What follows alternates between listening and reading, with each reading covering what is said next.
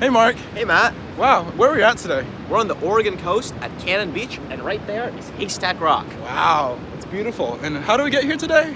Via this wonderful car. Let's check it out. Yeah, let's go check it out. Wow, would you look at this car. Hey Mark, you know, tell me more about this car. How do we get it? We got it through rental24h.com where we were able to compare different prices between all the different companies where we chose dollar in the end and it's this wonderful white Toyota Corolla. Wow, and what do you think?